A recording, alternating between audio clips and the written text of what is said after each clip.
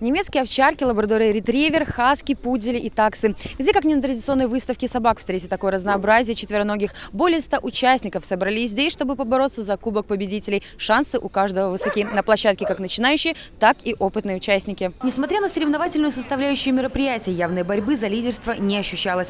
Выставка для многих – повод встретить единомышленников, поднабраться опыта и, конечно, показать своего питомца во всей красе. Атмосфера дружеская. Любовь к четвероногим в очередной раз собрала берестейцев в одном месте – на каждой из площадок соревнования между представителями одной из породных групп. Все собаки делятся на 10 возраст, э, породных групп, на 10, и одна группа вне классификации.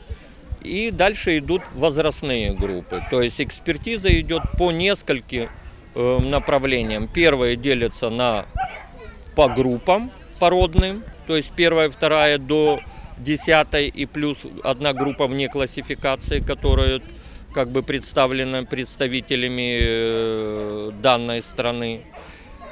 А внутри групп идет деление по возрастам. Бэбики, щенки, промежуточный класс – открытый класс, победители, чемпионы. Хозяйка годовалой Орлет убеждена, такие выставки только на пользу ее питомцам. Татьяна Рудик замечает, с каждым так называемым выходом в свет собака чувствует себя увереннее. Кокер Спаниель – обладатель титула юного чемпиона Беларуси. На ее счету победы на международной выставке в Минске, неоднократное участие в городских выставках. Останавливаться на достигнутом Татьяна не планирует. Она уверена, ее питомец должен развиваться. И где, как ни на выставках, набираться полезного опыта. Собака, я смотрю, чем она старше становится, тем больше ей это нравится нравится. То есть если мы собираемся на выставку, я достаю там переноску домика, ее поводок, собаке просто счастье. То есть, значит, мы пойдем гулять вместе, значит, мы будем там целый день на выставке с собаками.